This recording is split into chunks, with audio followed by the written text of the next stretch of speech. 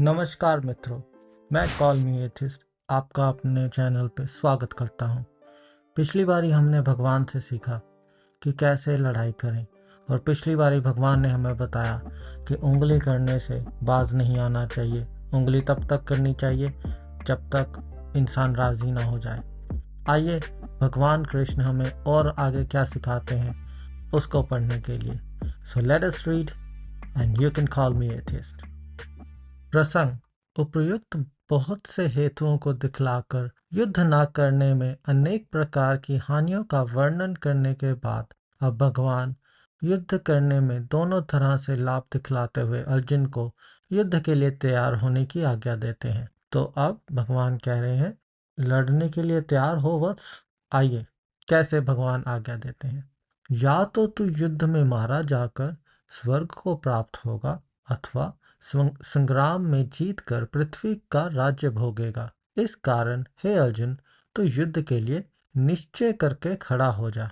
भगवान अब अर्जुन को स्वर्ग का लालच देते हुए कह रहे हैं कि अगर तो तू मर गया तो भी तेरी जीत, क्योंकि तू स्वर्ग में जाएगा। और अगर तू जीवित रहा तो पूरी पृथ्वी का राज्य तेरा होगा। तो एक जगह मैंने कहीं पे पढ़ा था कहते काम, क्रोध, मोह, लोभ हमारे लिए अच्छा नहीं होता, पर भगवान हमें लोभ देकर ललायत कर रहा है और अर्जुन को कह रहा है कि लड़ने के लिए पुत्र तैयार हो जा। Die and you will win heaven conquer and you enjoy sovereignty of the earth therefore stand up Arjun determine to fight प्रसंग, उपयुक्त श्लोक में भगवान ने युद्ध का फल, राज्य सुख या स्वर्ग की प्राप्ति तक बतलाया।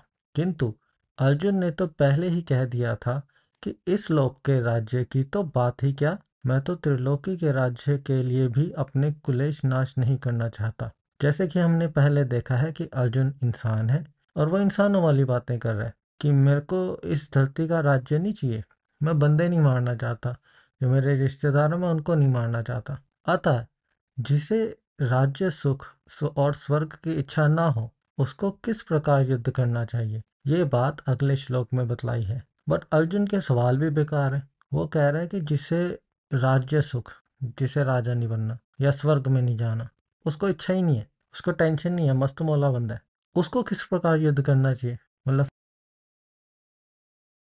अब इस श्लोक में हम पढ़ते हैं जय पर राजे लाभ, हानि और सुख दुख को समान समझकर उसके बाद युद्ध के लिए तैयार हो जा। इस प्रकार युद्ध करने से तू पाप को नहीं प्राप्त होगा। तो अर्जुन कह रहा है कि मैं लड़ना नहीं चाहता, ठीक है? क्योंकि मुझे किसी चीज़ का लालच नहीं है।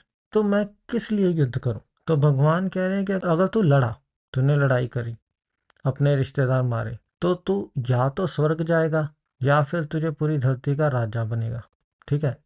बट अगर तू नहीं लड़ता है तो तू पाप कर रहा है। और ना लड़ना इज पाप अकॉर्डिंग टू भगवान मैं नहीं बोल रहा यहाँ पे लिखा हुआ है treating alike victory and defeat gain and loss pleasure and pain get ready for the fight then fighting thus you will not incur sin. As I mentioned earlier, if you fight, then you get go to heaven. If you don't fight, then you are committing a sin. Why is it a sin? Because that's the bottom line. Because God has said so. यहाँ तक भगवान ने सांख्य योग के सिद्धांत से तथा शास्त्र धर्म की दृष्टि से युद्ध का औचित्य सिद्ध करके अर्जुन को समतापूर्वक युद्ध करने के लिए आज्ञा दी। अब कर्म योग के सिद्धांत से युद्ध का औचित्य बतलाने के लिए कर्म योग के वर्णन का प्रस्तावना करते हैं। देख लो जी, प्रस्तावना कैसे करते हैं।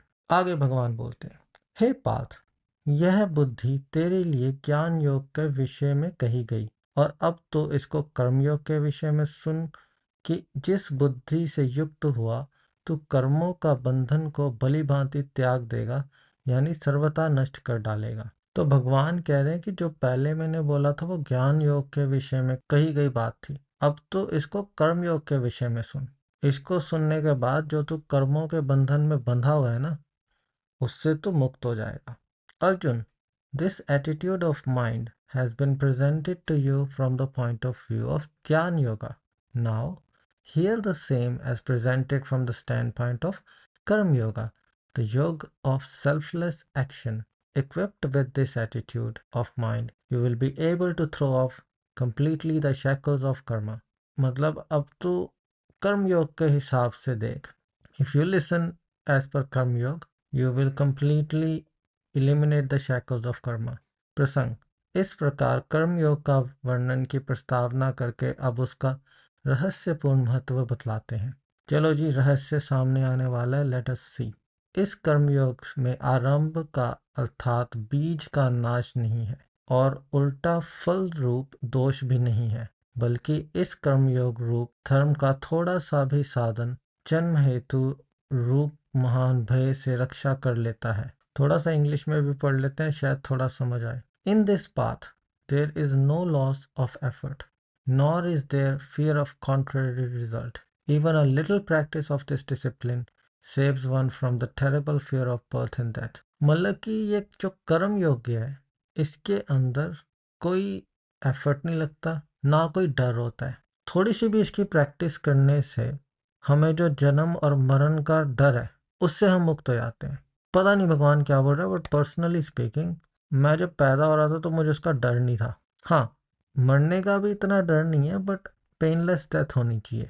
मरने के बाद मैं क्या फील करूँगा? आई डोंट नो बड़ा लाइफ में बड़ा कुछ करना है तो अभी थोड़ा सा ज़िंदा ही रहना चाहता हूँ। जब बंदा कर्म योग के ज्ञान को सीख लेता है तो उसे ना जन्म का, ना मरण का कोई उसको फ़र्क नहीं पड़ता।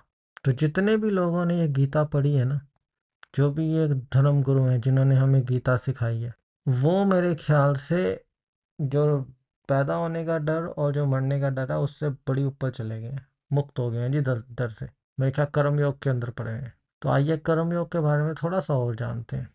प्रसंग, इस प्रकार कर्मयोग का महत्व बतलाकर, अब उसके आचरण की विधि बतलाने के लिए पहले उसे कर्मयोग में परम आवश्यक जो सिद्धि कर्म योगी की निश्चयमिकता स्थायी संबुद्धि है। उसका और कर्म योग में बाधक, जो साकाम मनुष्य की भिन्न भिन्न बुद्धियाँ हैं, उनका भेद बतलाते हैं।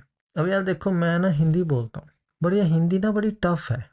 तो अगर भगवान को हमें गीता सिखानी थी ना तो सरल भाषा का इस्तेमाल करना चाहिए था, जो मेरे जैसे को भी समझ में आ जाए। अब पता नहीं, कई लोग तो इसे पढ़ते भी नहीं होंगे, क्योंकि देखो यार, अभी तक मैंने पढ़ी है, बोरिंग किताब है, सीधी सी बात बता रहा हूँ। ठीक है ना? जिसको है ना कि पता नहीं उसको क्या मिल गया है, हीरे मोती मिल गए, वो बंदा बोल रहा है झूठ।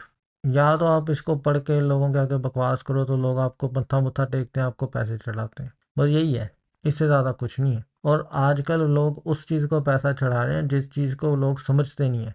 तो थोड़ा बहुत स्कैम भी लगता है।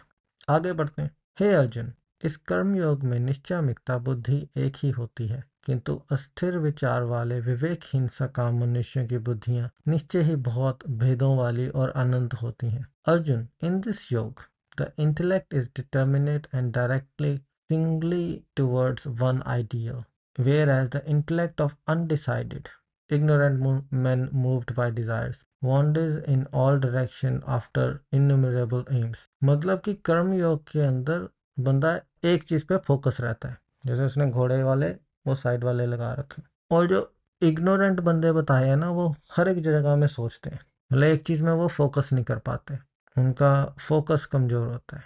ये तो बात देखो ठीक है, अगर आप कोई काम कर रहे हो, किसी चीज़ पे आप अचीव करना चाहते हो तो आपको उसी चीज़ पे फोकस करना चाहिए। इधर उधर की चीज़ों पे फोकस नहीं करना चाहिए। अगर तो भगवान ये कह रहा है, ठीक है यार, भगवान, अच्छी बात भी होती है, ऐसी थोड़ी ना कि भगवान हर एक बात बकवास करता है।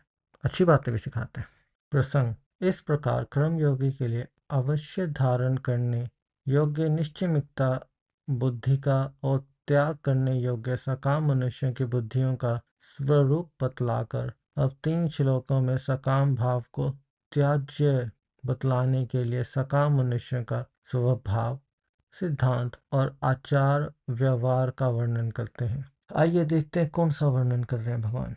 हे अर्जुन, जो भोगों में तन्मय हो रहे हैं जो कर्म फल में प्रशंसक वेद वाक्यों में प्रीति रखते हैं, जिनकी बुद्धि में स्वर्ग ही परम प्राप्य वस्तु है, और जो स्वर्ग से बढ़कर दूसरी कोई वस्तु ही नहीं है।